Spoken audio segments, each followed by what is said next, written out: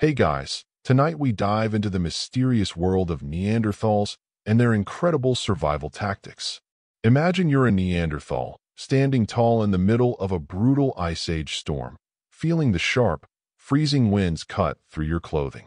Your senses are sharp, your nose detects a distant animal's scent, your ears catch the faint rustle of a movement in the snow, and your vision is adapted to the low-light, snowy conditions.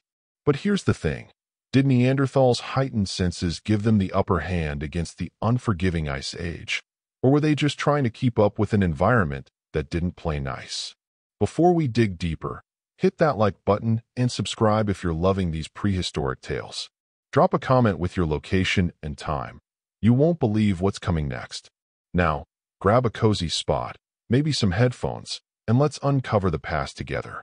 Imagine the stark landscape of the Ice Age a frozen expanse where survival demanded more than just sharp tools and brute strength. For the Neanderthals, survival hinged on their ability to sense their surroundings. Heightened senses weren't just a bonus, they were a necessity. The environment, harsh and unpredictable, made those sensory adaptations vital for finding food, avoiding predators, and navigating treacherous terrain. Let's start with their sense of hearing. Recent studies of Neanderthal fossilized skulls reveal they had an advanced auditory system, shaped by an environment that demanded acute hearing. Their middle ear bones were shaped to pick up sounds at different frequencies than modern humans, a direct result of the icy winds and howling predators they had to hear coming from miles away.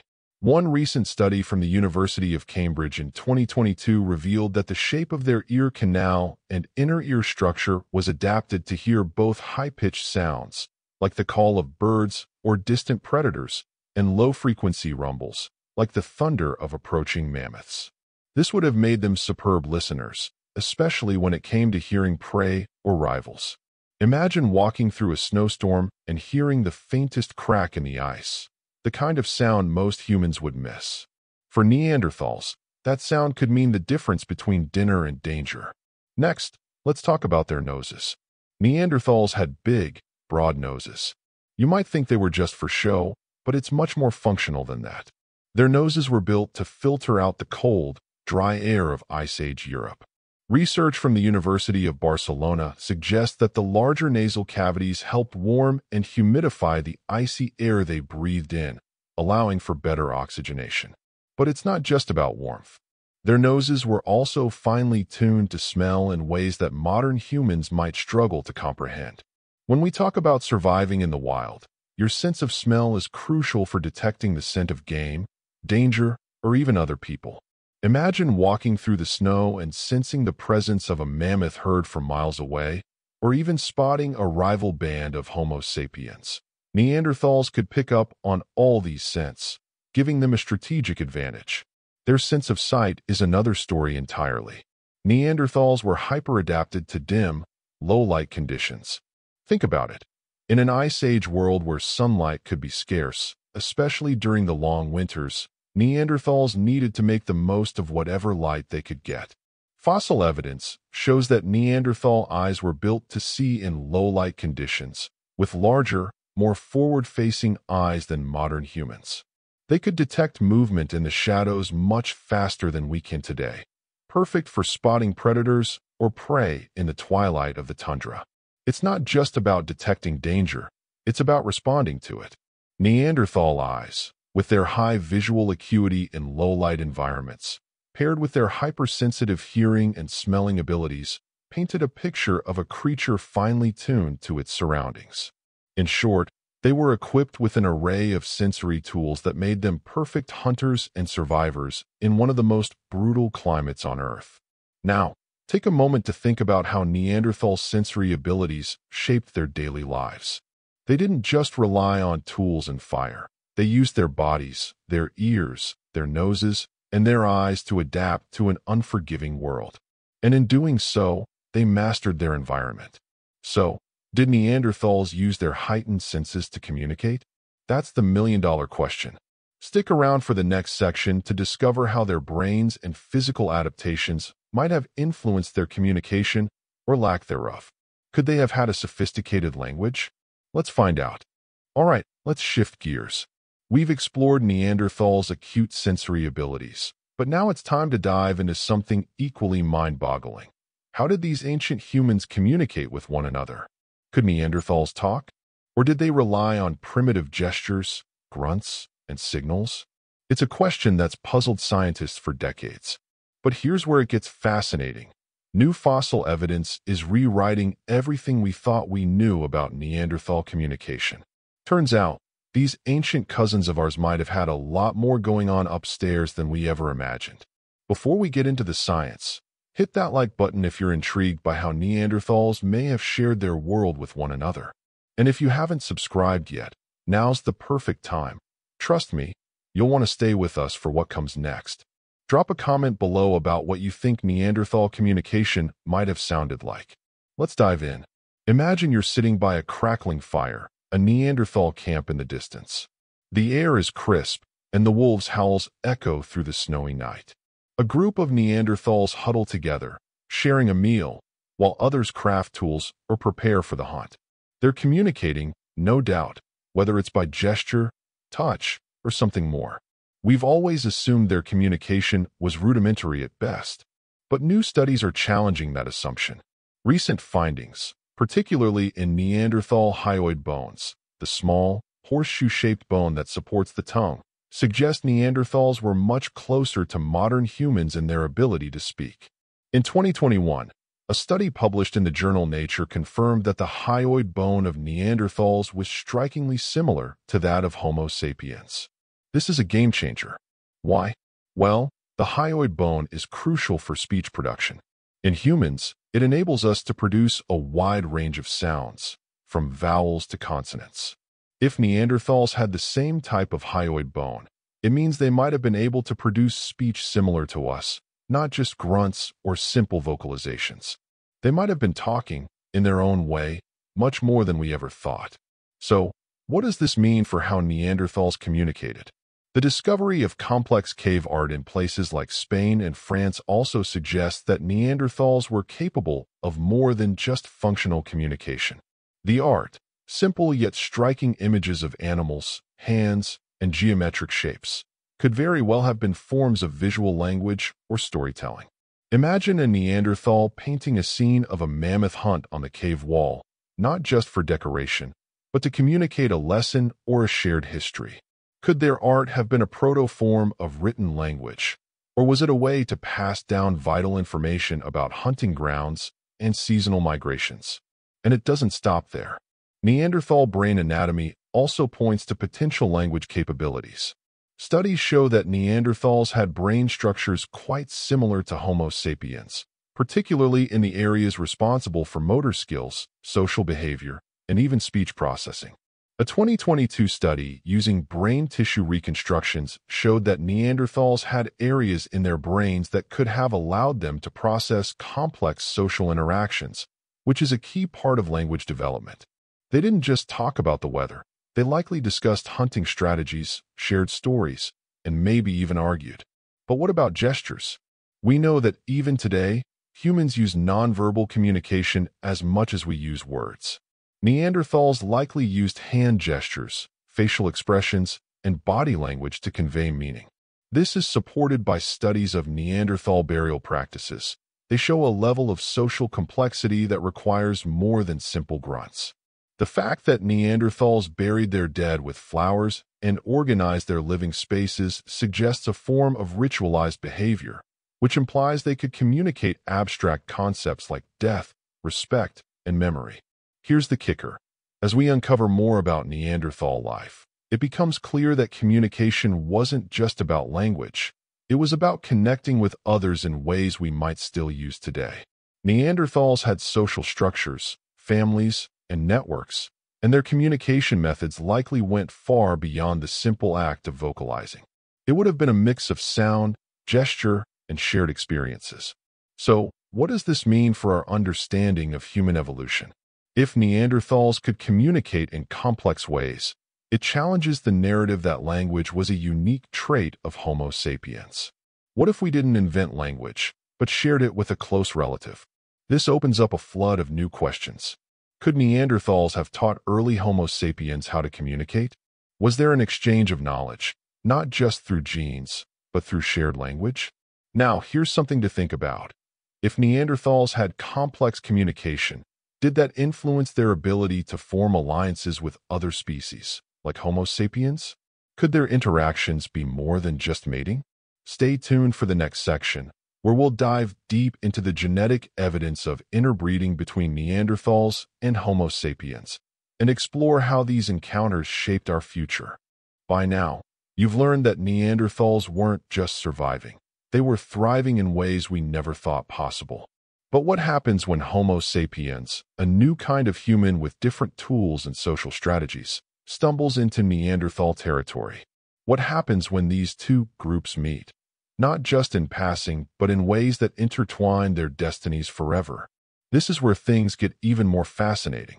Before we dig into the real genetic drama, hit that like button if you're amazed by how Neanderthals weren't the brutish cavemen we've been led to believe.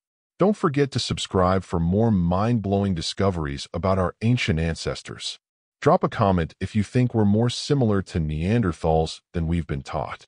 Now, let's jump into what happens when two worlds collide, literally. Imagine you're in the middle of an ice age landscape, surrounded by towering glaciers, dense forests, and vast tundras. Homo sapiens, modern humans like you, have traveled across frozen lands, pushed forward by an innate curiosity and the need to survive. You've made it to a new territory, a place teeming with unfamiliar creatures, new dangers, and, most importantly, other humans. But not just any humans, Neanderthals. They've lived here for over 400,000 years, carving out a life in the harshest of environments. You, however, are different, taller, leaner, with advanced tools and a deep network of social connections.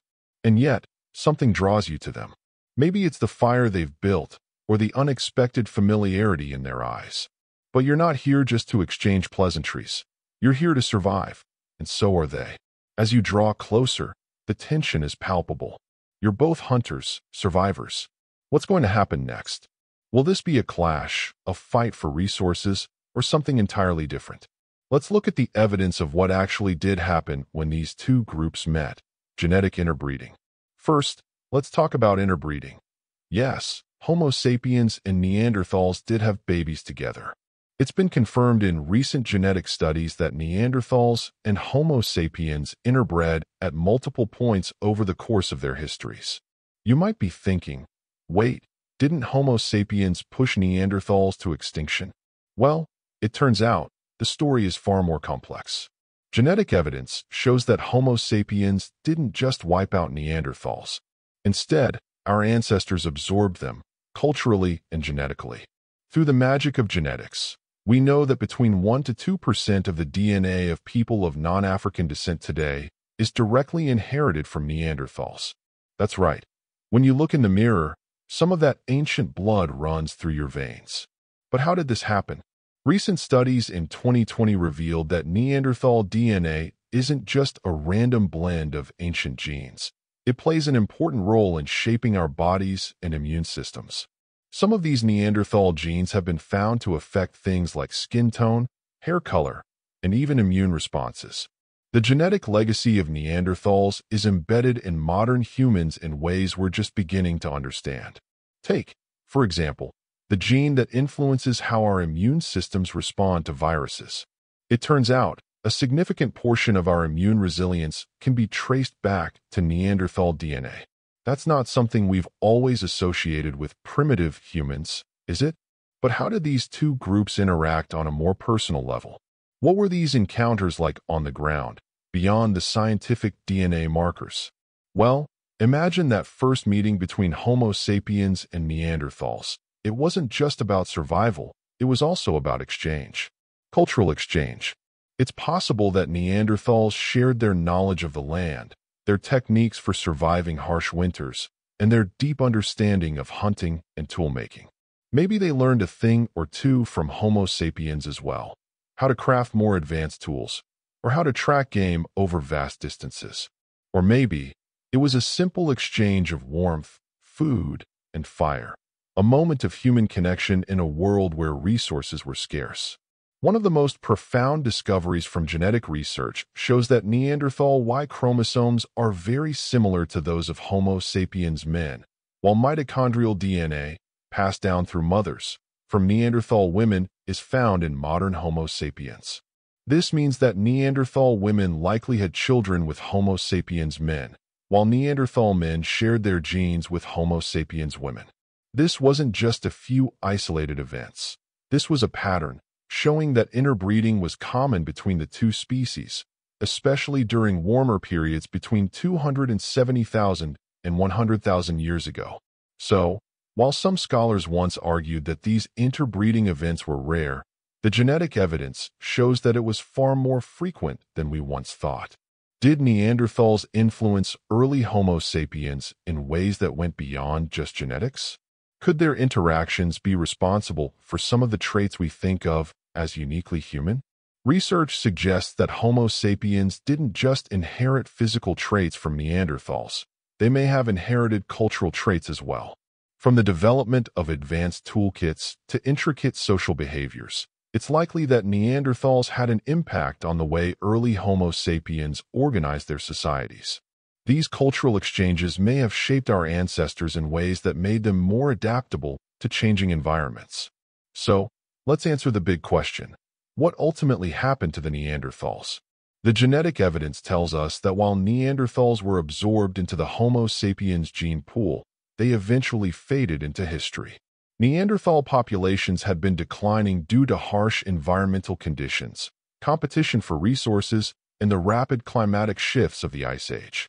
When Homo sapiens moved in, they brought with them a social network that stretched across vast distances, a more diverse range of tools and strategies for surviving in fluctuating climates. This competitive advantage, combined with interbreeding, meant that Neanderthals eventually disappeared, but not before leaving their mark on us. Deep in our genes, their legacy still lives on. Imagine this, a Neanderthal woman, with pale skin and strong hands, raises a child who carries the legacy of two species. A Homo sapiens man, with a lean frame and sharper tools, looks on as his child plays, unaware that they carry the blood of the people who came before them. They shared tools, stories, and maybe even the same fire. They were different, yet alike in ways that forever changed the course of human evolution. And here's the kicker. Despite the extinction of Neanderthals, we are still shaped by them in more ways than we ever realized. Their contribution to our immune systems, their influence on our culture, and the genetic remnants they left behind are part of who we are. So, when we look at ourselves, we're not just seeing Homo sapiens, we're also seeing Neanderthals. Their story is ours. And as you think about this, remember, humanity's history is full of twists, turns, and surprising encounters, many of which have shaped us in ways we still don't fully understand. As we close this journey into Neanderthal life, think about how their story mirrors our own, full of struggle, connection, and survival. Their extinction wasn't a defeat, but a blending of worlds, leaving us with traces of their blood, their knowledge, and their resilience. Next time you look in the mirror, remember, the legacy of Neanderthals is there, hidden in plain sight, in the very genes that make us who we are.